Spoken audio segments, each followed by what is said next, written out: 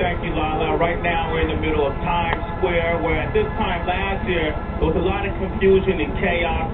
Now, one year later, things seem to be relatively calm for the most part. And despite a national security alert, people have still come to gather to commemorate the events that happened on 9-11 in various ways. And joining me all the way from Miami, I have Mark, I have Don, and I have the lovely Hillary, of course. Hi, and it's a beautiful day to have flags out. The wind's blowing, and so flags are all over the place, and it's, it's just everything's standing up perfectly. And uh, you guys brought a flag along with you. It's a little bit different. Why don't you explain it to everybody at home?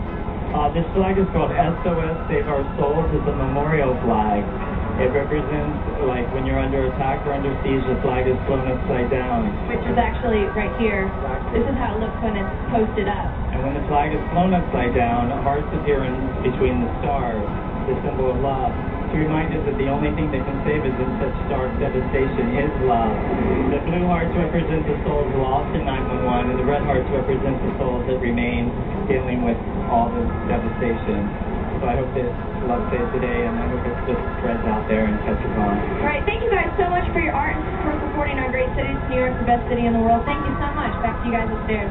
Thank you very much for that, Hillary. Thanks, guys. And from Miami, I believe John's over there in our hall back, which you can't